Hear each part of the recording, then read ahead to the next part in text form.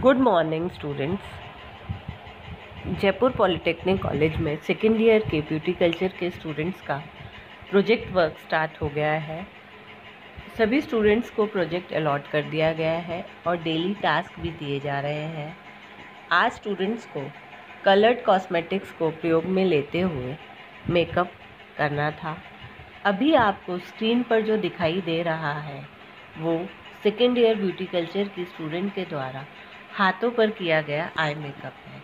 एक बार आप भी कहेंगे कि ऐसा लग रहा है जैसे इस मेकअप को आइस पर ही किया गया हो।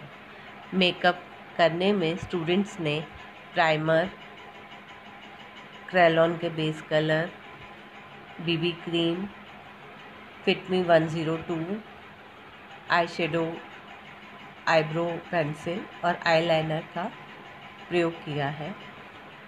यह task second year beauty culture Jaipur की स्टूडेंट सुनीता यादव के द्वारा किया गया है और आज के प्रोजेक्ट वर्क में मैं सुनीता यादव के द्वारा किया गया टास्क ही मैं शेयर कर रही हूँ।